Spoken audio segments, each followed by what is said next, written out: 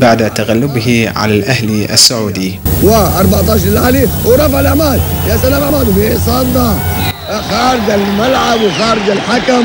لم يستطع الفريق القدسية الكويتي انه يصدها ده ثلاثة عماد اللي جاب الكورة.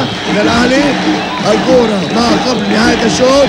اياد بيرفع وتغطية وبتترفع. وعماد وبيطلع ديليم وبيشوتها في وسط الملعب. الأهلاوية.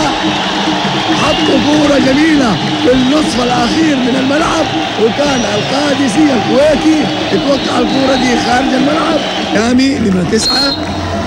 لاعب إرسال من عيسى يامي أخو عبدو يامي واثنين حسين رفعت وشوطة سريعة محل. عيسى يامي اللي دوب لعب إرسال في تغيير ثاني خرج ثاني عبدو يامي ودخل. محمد أحمد وأيضا في تغيير. اثنين خرج من القادسيه الكويتي ودخل اللاعب. سبعة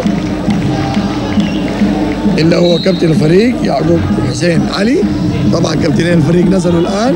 وراه على حكم بيقول خارج الملعب وما فيها لمسة شبك ولا لمسة يد.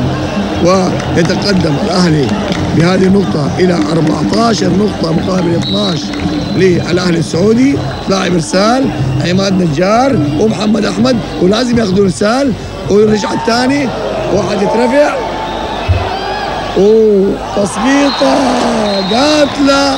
كله طلع دفاع.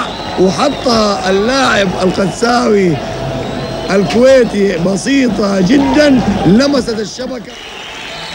ويتلقون التهنئة من الدكتور صالح بن ناصر ويتسلمون كأس البطولة تتويجا لجهودهم فتهنئة حارة للأشقاء من دولة الكويت الشقيقة.